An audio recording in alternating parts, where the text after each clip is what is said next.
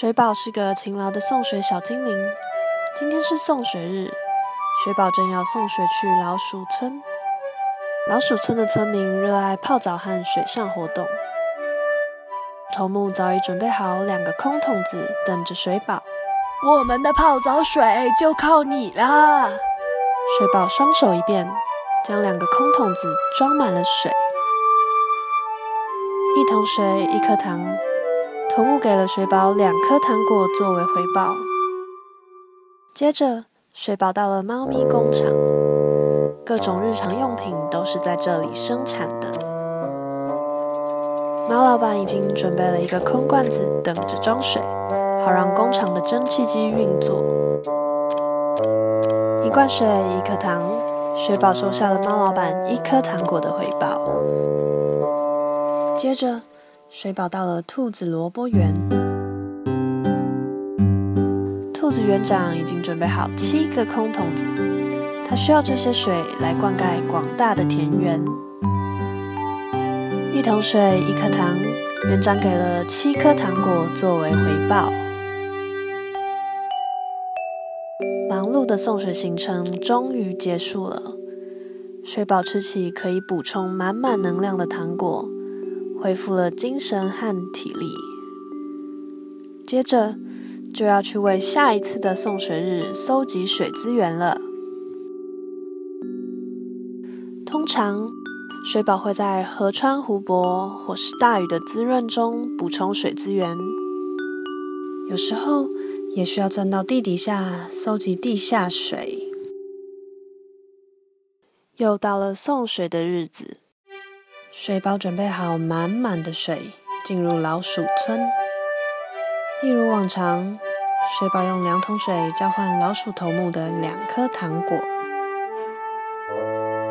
接着，水宝到了猫咪工厂，但是这次工厂里却放了三个空罐子。最近生意不错，接到一大笔订单，需要更多的水来维持工厂的运作。今天可以多给我两罐水吗？猫老板请求。可是，等等还要送七桶水给兔子萝卜田诶。水宝看着肚子，犹豫的思索着。猫老板的生意好像很重要，我想这次先借猫老板两桶水，应该没有关系吧。水豹最后答应了猫老板，给了他三桶水。收下三颗糖果后，水豹前往兔子萝卜田。园长，很抱歉，猫老板因为工厂需要，多向我要了两罐水，今天恐怕只能给你五桶水了。兔子园长一听到，便愤怒的大叫。你怎么可以把原本要给我的水给了别人呐？没有七桶水，我就不能灌溉全部的萝卜田，我的收成会变少哎。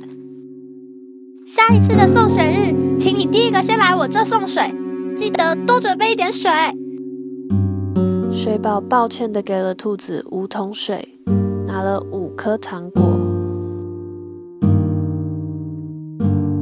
离开萝卜田后。水宝开始焦急的寻找水资源，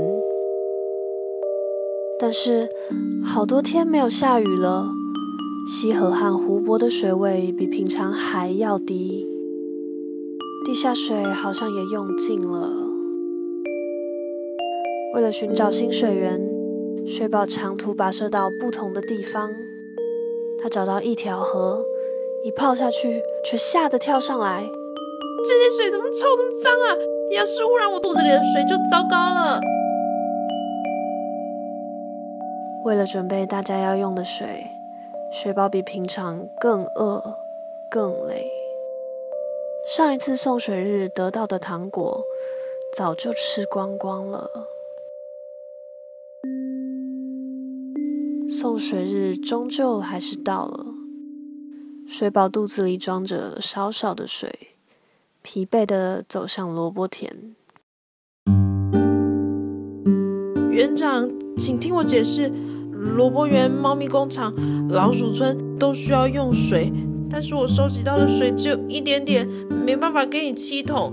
嗯，这段时间萝卜园可以用少一点水吗？没有气桶水就不够浇灌我的田呢。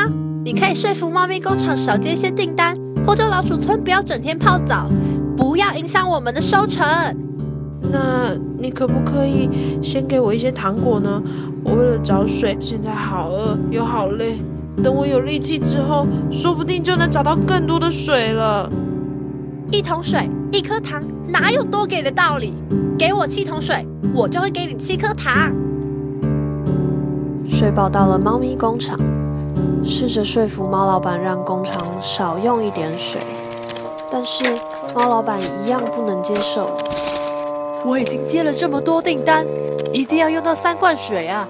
萝卜园可以先休耕几块田，老鼠村可以少泡点澡，但我绝对不能对不起我的客户。那么，能不能给我一些糖果呢？等我有力气后，就能去找更多的水了。一罐水一颗糖，哪有多给的道理？给我三罐水，我就给你三颗糖。最后。水宝来到老鼠村，试着说服老鼠村长让村民少用一点水，但是老鼠头目无法接受水宝的建议。老鼠村若不天天泡澡，很痛苦的呀。萝卜少种一点，工厂少接一点订单，就可以省下很多水了。为什么要压缩到我们的泡澡水？水宝抱着最后一丝希望问。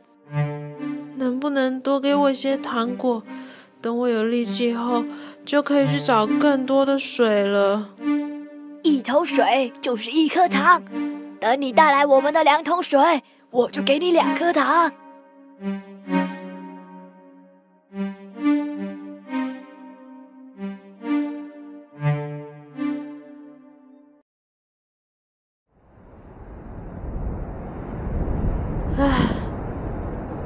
大家好像都有着合理的理由，没有办法少用一点水。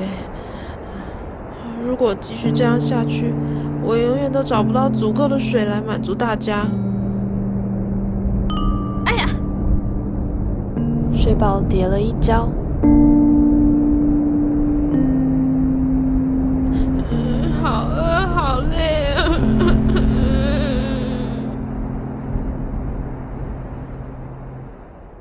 此时，在兔子萝卜田，灌溉用水就快要用完了。